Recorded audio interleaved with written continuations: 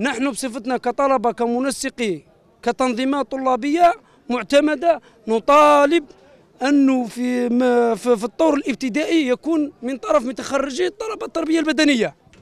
لازم تدخل عاجل من السلطات المعنية. ودرنا تربص وقرينا وضيعنا حياتنا وعدد الطلبة فاق ال 25 ألف فاق الب- البطالة راهي نكحت الطلبة. على نقراو نحبسوا القراية ما نقراوش. من 2013 وخاوتنا ثاني إحنا وعيناهم باللي يا جماعة باللي تخرج دوكا. راك ما تلقى والو. راك سكروا علينا كلش يفتح لك تا أربعة في الصيام وخمسة في الليسي في كل ولاية وعدد المتخرجين راه في 22000 وخلي بالطلبة راه في ال- بالك يفوق 32000 والخير قادم. وين راه الحل؟ هذا لقينا لكم الحل.